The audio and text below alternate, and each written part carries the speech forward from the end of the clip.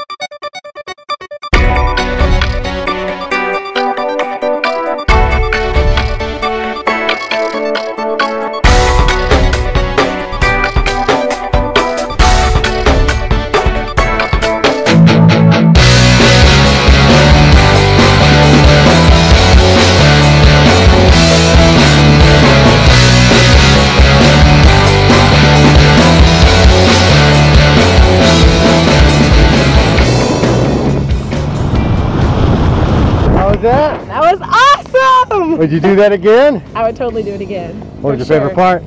I think that when you were turning the parachute. Oh, what you were doing, spinning it. Yeah. Exactly, but the free fall was the best. All righty, Courtnie, high five. Thanks for jumping with me. Thank you.